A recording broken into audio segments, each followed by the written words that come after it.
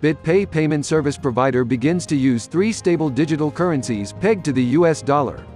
According to the Business Wire portal, the company supports payment acceptance and settlement in any of three popular volatility-free stablecoins, Circle's USD Coin, USDC, the Gemini Dollar, GUSD, and Paxos Standard Token, PAX.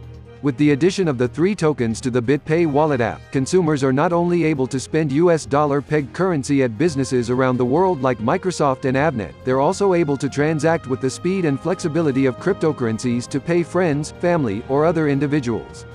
Follow the world of blockchain with us. The news release partner Stex.com.